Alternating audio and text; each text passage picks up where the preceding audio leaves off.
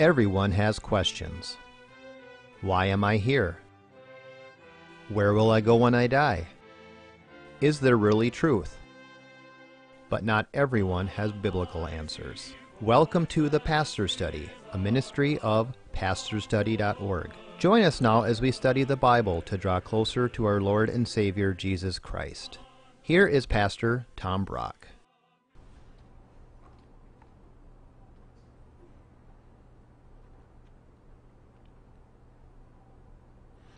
Welcome to the Pastor's Study. Today I want to tell you the inspiring story of Hans Egede and the conversion of Greenland back in the 1600s. I've got a great book to recommend. It's called From Jerusalem to Irian Jaya. It's, it's a history of Christian missions, and it'll just bless you to read story after story of these wonderful missionaries and what they've done in the last 2,000 years. So here's what I'll do today. I want to tell you the story of Hans Egede, the conversion of Greenland, and then after the end of the story, it'll take a while, I want to draw lessons from his life for our life. So let's pray first. Father, we do pray that even people watching this show would be called into mission work, that whether they're to stay home and be a missionary at their job or in their family, or whether you're calling them to Greenland or Africa, Lord, we would pray that many, many missionaries would go forth and preach your gospel. And Lord, show us in this hour how we are to help and support. In Jesus' name, amen. Hans Egede was born in Norway in 1686. He grew up in a devout Lutheran home. At age 21, he became a pastor and started 10 stormy years because he and another pastor had a difficult relationship because of some money issues. He married a woman named Gertrude who was 13 years older than himself. Gertrude's brother was a whaler, and he would tell Hans stories of how now Greenland is inhabited by heathen now, Hans grew up learning how in 1000 AD, Leif Erikson took the Gospels from Scandinavia and converted people in Greenland. But that was 1000 AD. This is now 1600s, and the question is are there any Christians left in Greenland? People didn't know. Hans had to know. He started having a, a desire to go to Greenland. So Hans goes down to Copenhagen, Denmark, to talk to King Frederick, and he lays before King Frederick the quote, plan for the conversion and enlightenment of the Greenlanders. Well, Hans's proposal drew opposition from his own family. His mother in law was outraged to think that her daughter and grandchildren now would be going to Greenland. In fact, Gertrude herself hinted that she regrets ever marrying this man. But then Hans and Gertrude pray about it, and she catches the zeal too, and she became his strongest supporter. In fact, um, after her attitude changed, he wrote this Gertrude, a frail woman, has shown greater faith and manliness than I in carrying out this plan. So they head out for Greenland from Norway. Uh, Hans falls overboard on the trip and is barely rescued in time, but some fisherman rescues him. Instead of being discouraged, Hans saw that as a sign from God I'm really supposed to go to Greenland. On board ship were only 46 people Hans and his family, and then some commercial men that the king of uh, Denmark had sent along for commercial purposes. These men would become the thorn in Hans's side. After much peril, the ship lands in Greenland. The first thing Hans does is builds a shelter for him and his family. Then he settled down to the very unromantic work of being a missionary. The natives, these Eskimos who thronged around them once they arrived, spoke a, a dialect that was, had no connection to any uh, European language, so it was very difficult. However, Hans's sons, uh, Paul and Niels, quickly picked up the Eskimo language, and they taught their father uh, the, the language. Um, Hans soon discovers that Christianity had died out completely in Greenland. there were no Christians left. So uh, uh, Hans starts the work. Now, the Egedes were kind of refined people, and he, Hans would visit these Eskimos. They lived in huts inhabited by multiple families. The rotted fish smell stunk as he would visit, but he knew he had to visit the homes, especially during the long winter months, if he was to convert these people. Well, the conversion went very slowly because Hans was a rather strict Lutheran, and he insisted that they get rid of all their pagan ways before he would baptize them. They had to get rid of their magic charms, they had to get rid of their drum dances. Things went very slowly. Hans, even though now, started to win the hearts of the Eskimos by singing to them. He would sing to them, and that that drew, drew them closer to him. Even the Angakoks, those were the uh, the superstitious kind of the wise men or the um, what do we call them the sorcerers of the village they resisted hans the most even they start to get won over nevertheless it was slow slow going and hans though because their children had not accepted their parents' practice, he started to baptize with their ch- parents' permission. He starts to baptize the children, the Eskimo children. But perhaps the greatest obstacle that Hans faced was these commercial men that came with him from Europe. They led evil lives and they were a very bad advertisement for the Christian faith. Nevertheless, Hans and his family were true believers and they plunged on. In 1733, another set of problems arrived when the Moravian missionaries from Europe came to Greenland. Now, uh, the Moravians were committed Christian people, uh, but they thought Hans was more concerned with Lutheran doctrine than with saving people's souls. On the other hand, Hans Egede looked at them and thought they were just into emotional religion and didn't care about saving people from superstition, so there was some friction. Uh, nevertheless, they worked side by side. Hans and Gertrude, when the Moravians got the scurvy, they nursed them back to help, health, and, and Gertrude was greatly loved by the Moravians. One observer, though, wrote this The Greenlanders are apt to doubt the whole of Christian faith and say, How can it be the truth if you, the Moravians and Hans, are quarreling about it yourselves? Well, finally, in a strange way, there was a breakthrough.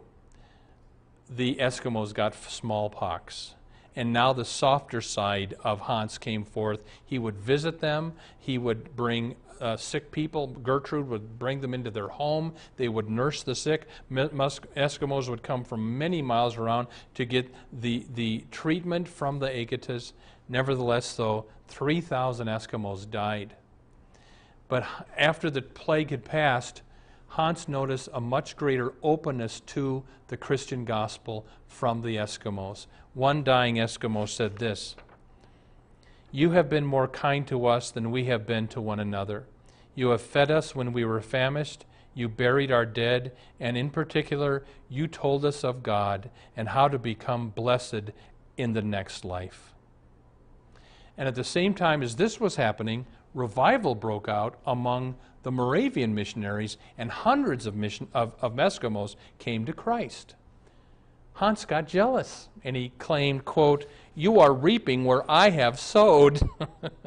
um, well, in 1736, after a long illness, Gertrude dies. And broken in soul and, and spirit at about age, what, 76 or so, Hans decides to go back to uh, Scandinavia but he leaves his sons in Greenland to carry on his work. When, when uh, Hans retired back to, uh, to Europe, he didn't retire. He founded a school to train more missionaries to go back to Greenland. And at age 72, it was when he died. In 1758, Hans Egede died. Today, Lutheranism is the official religion of Greenland, and something like 98% of Greenlanders consider themselves Lutheran. That is the story of Hans Egede. Let me share with you some lessons for our life from his. Lesson number one God uses the imperfect for his perfect work. Hans had kind of a stubborn personality. He got jealous. He was kind of rigid. God used him anyway. and, dear friend, don't let the fact that you have personality flaws keep you from serving the Lord. God uses imperfect people to do his perfect work. I love this old hymn that goes like this. Listen to the words. Let not conscience make you linger, nor of fitness fondly dream. All the fitness God requires is to feel your need of Him. Come, ye wounded, weak and weary, lost and hurt now by the fall. If you tarry till you're better, you will never come at all. In other words, don't wait till you got it all together to serve the Lord because you'll never have it all together. Second lesson I learned from Hans Egede Christianity can die out and be resurrected. Christianity came to Greenland in 1000 AD. By 1600, it had died out, but it got resurrected. You know, sadly, Christianity is somewhat dying out in America, but it's really dying out in Europe. Well, God can bring it back. This has happened in, in Russia. You know, Russia for 80 years was under communist atheism. I was able to stand in a Russian high school, a public high school, and hand out Bibles. Christianity is making a bit of a comeback now in Russia. It can happen. Next lesson I get from Hans Egede follow God's call regardless of your family. If Hans had listened to his mother in law, maybe Greenland would never have been evangelized. Many years ago, when I said to my mom, Mom, I think I'm going to be a pastor, her response was, Sure, you don't want to be a lawyer? Thanks, Mom! But you know what? She wasn't thrilled about it. I know I'm, I'm, I'm supposed to be a pastor. So you follow God's call even if your family opposes. Next lesson I get from Hans Egede never underestimate the power of music. Music is what won over the Eskimos. You know, sadly, the opposite is true. In our nation, evil music, you know, rap music and rock music with the F word, that kind of music is winning over people in the wrong direction. But wonderful music can win people to Christ. You know, you know, I thought of this. If I should ever, God forbid, leave the Christian faith, you know, one of the things I'd really miss Christian music, the beautiful old hymns, Christian contemporary music. I mean, I would miss that if I didn't have the church. Next lesson from Hans Egede children are the easiest to convert. You know, they, they, there was a survey, and something like 85% of people who are converted to Christ say it happened before 18 years of age. Did you hear that? 85% of people say, I became a Christian before age 18. That's why you're smart if your church budget has a lot of money going to Sunday school, toward youth programs, hiring a youth director, because that's when most people come to know Christ. Next lesson from Hans Egede. For the sake of the gospel, put aside differences. Hans and the Moravians had differences. They put them aside for the sake of the gospel. Here's a, a friend that said to me, Well, this, this man I know, he's starting a new Bible study. And I think there were people of various Christian backgrounds that are going to go to the Bible study. So he goes to the first session of the Bible study. And this man says, You know, Pastor Tom, when the Bible study leader found out I'm a Lutheran, he said, Oh, you believe in infant baptism, and just railed on me. That was the first and last meeting of that Bible study. you know, Christians, we live in a day and age when America is morally falling apart. We need to agree to disagree on some of the uh, issues, but let's hold our hands and bring Christ back to our American culture. Next lesson from Hans Egede God often uses a tragedy as a door to the gospel. It was smallpox that got the Eskimos to be open to receiving Christ. You know, maybe you watching this TV show, maybe the reason you're a Christian right now is because some tragedy struck you, and that's when you came to know Christ. There's a saying some people look up only when they're lying on their backs. And next lesson from Hans Egede see that your work is carried on. Hans knew he was going to die, so he built Christianity into his sons, and his sons carried on the work in Greenland after Hans had to return home. You know, I hope you're doing that. You know, mom and dad, I hope your main desire for Jimmy is not that he plays baseball, and that your main desire for Susie is not that she plays piano. I hope you are building Christianity into your children so that when you leave this earth, somebody's going to carry on the work of the Christian gospel. And the last lesson, maybe the main lesson I learned from Hans Egede is this never give up. Hans and Gertrude had trial after trial after trial. They never gave up. And I want to say this to you, especially if you're retired, never give up. You know what happened when Hans retired? He goes back to, uh, to Scandinavia. He didn't retire. He used that retirement time to train other people as missionaries to go back overseas to Greenland. So if you're retired and if you can barely get out of bed, there's a reason you're on earth. Maybe you're supposed to become a prayer warrior. Maybe you're supposed to pray for the missionaries, but uh, never give up, no matter what stage of life. You remember the story that Winston Churchill, years ago, comes over to America to give the college commencement address? And here's all these people in their graduation gowns. Churchill gets in front of the crowd and says, Never give up. Never give up. Never give up never give up, never give up. And he sat down. That was his message. I, I, like this message too. The quote from, from uh, Winston Churchill Do you have enemies? Good. That means that somewhere you stood up for something. Here is what I learned from Hans Egede. Number one, God uses imperfect people for his perfect work. Number two, Christianity can die out, but it can be resurrected. Number three, follow God's call even if your family resists. Number four, never underestimate the power of music. Number five, children are the easiest to convert. Number six, for the sake of the gospel, put aside differences. Number seven, God often uses tragedy to open the door for people to Christ. Number uh, eight, uh, see that your work is carried on. And then, Christian, never quit. Amen. Welcome to the portion of the pastor's study where we now ask Pastor Brock to share with us not only his knowledge of Scripture but his insights to answer questions we have regarding the Bible, our Lord, and our everyday walk with Him. If you have a question that you'd like Pastor Brock to ans- answer, feel free to send it to our website, which you'll see on the screen right now and we'll take and answer that question at a later date.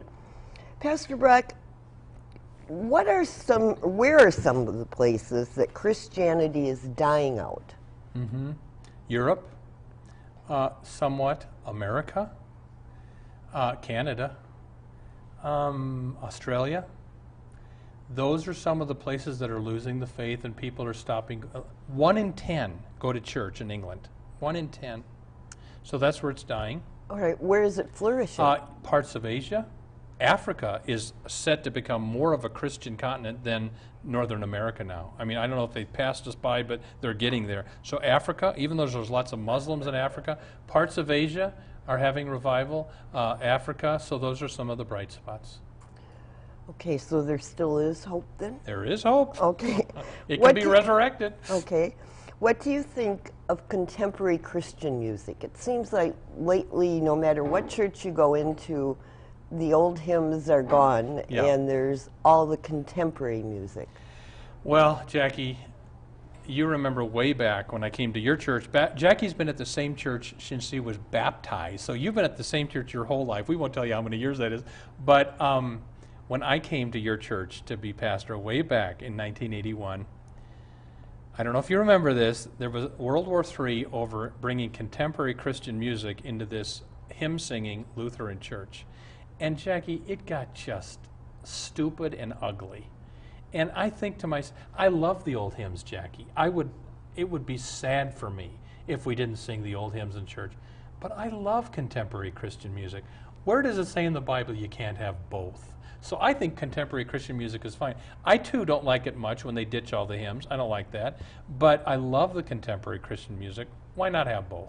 Yeah. Okay, I think it's just sometimes your diehard people who had the hymns and that was all before contemporary Mm-hmm. Yeah. music came about. Yeah. It's but well, you know, I'll tell you this.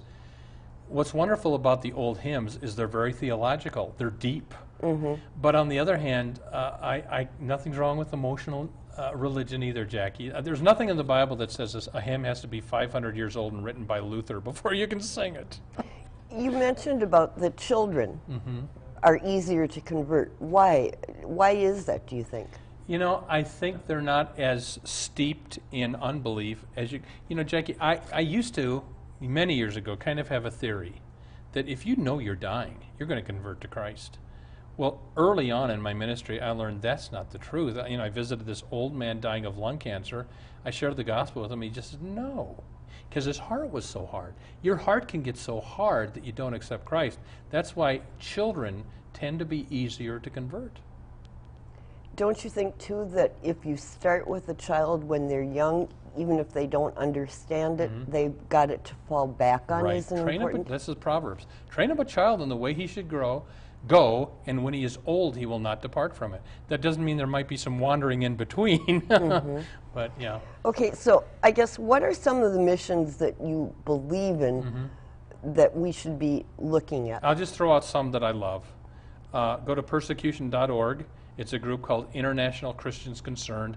They help persecuted Christians around the world that are being beheaded, and you know, and they also help start churches and, and or do they supply funds to underground pastors. So it's called persecution.org.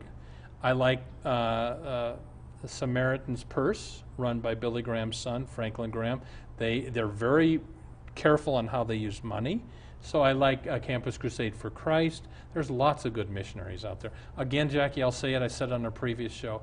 When some preacher is on TV telling you to send him money for miracle spring water and you'll be healed of your lumbago, do not send money to those people. It makes me angry to see those people hawking that. And you want to send money to people. I'll say it again. I said it before. The ECFA, Evangelical Council for Financial Accountability, and you better believe those people are not part of that because those people are held accountable if you join that group. Okay, we're, we've talked about how important it is to have missionaries. How does a person know if God wants them to become a missionary? Mm-hmm. Well, I think you just got to pray, and then you wait upon the Lord. And if you just just pray, I mean, I, Jackie, I, I I prayed for three years. Was it about two or three years? For two or three years there, I didn't know what I was supposed to do with my life, and then finally God made it clear, and I won't go into it, how I'm supposed to be a preacher.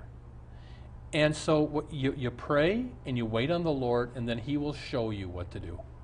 Okay, does a person have to go overseas to be a missionary, No, though? I Not mean, in this day and Not in this age. day and age when, when a lot of the people next door to me are Muslims. I mean, I've got Muslim neighbors. You don't have to go overseas. You've got people right at your workplace that don't believe in Christ. Uh, uh, you, you can do it at your job. Yeah. Okay. I once heard a pastor say that God never sends disease and that the devil does that. Yeah. Is that true? I saw, uh, I won't say who he was, one of these big TV preachers that has you send in money to get the miracle water. And he said, God never sends disease or, or that kind of thing. The devil does that. And I'm thinking, what Bible does he read? R- Exodus chapter 4, God says to Moses, Who makes man deaf, dumb, seeing, or blind? Is it not I, the Lord?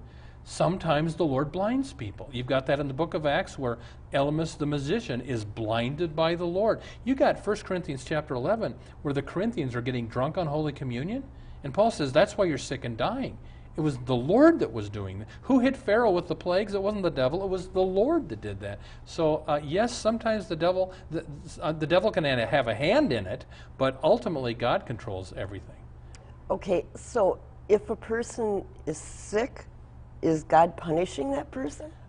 Uh, you know, uh, uh, there's two answers to that. the people we just mentioned in, in uh, Corinth that were getting drunk on communion, I think the answer to that is yes.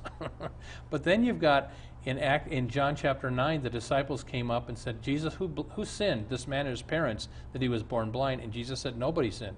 This is for the glory of God, and he heals the man. So, uh, Jackie, if you get drunk tonight and you have a rip roaring hangover tomorrow, there's a connection between your sin and sickness.